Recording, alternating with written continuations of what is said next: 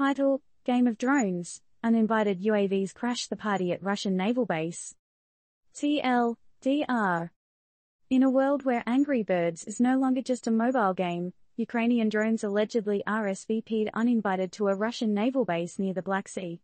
Moscow's defense ministry confirms the gate crashing incident, but let's get real. Were these digital party crashes just lost or was this a deliberate invitation to a high-tech tango? Now let's delve into this not so neighborly visitation.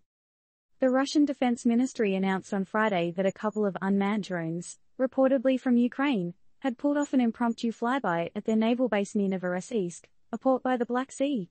These robotic interlopers, however, met a less than warm reception. The two party poopers were promptly shown the door with extreme prejudice, red, blown out of the sky, by base security. Okay, pause. Drones. A naval base. And a potentially frosty international incident. Let's back up a moment. When did the world morph into a James Bond flick? The Ukrainian side hasn't provided any RSVP response on this little shindig. So, were these drones lost partygoers straying from their intended coordinates or pre-programmed plus ones on a secret sabotage mission? An alarming thought, huh? Amidst the echo of these alleged drone incursions, questions are flying higher than the drones themselves.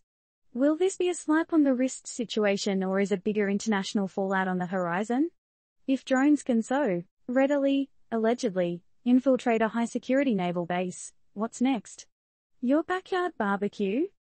Now, not to play favorites or point fingers here.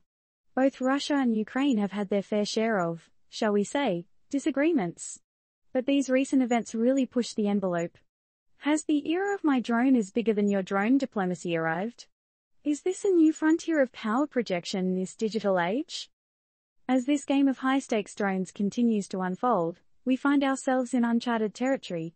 With these unmanned buzzkills potentially turning party fouls into geopolitical incidents, the world watches with bated breath. So, let's get the conversation rolling, folks. Is this drone drama the dawn of a new form of warfare or just a high-tech hiccup?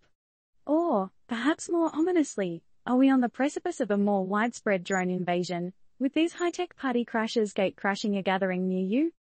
Remember, this isn't financial or legal advice. This is a slice of today's world, served turned up style. Enjoy the food for thought and make sure to chew on the implications. Question to ponder, will your next cookout need a no-fly zone?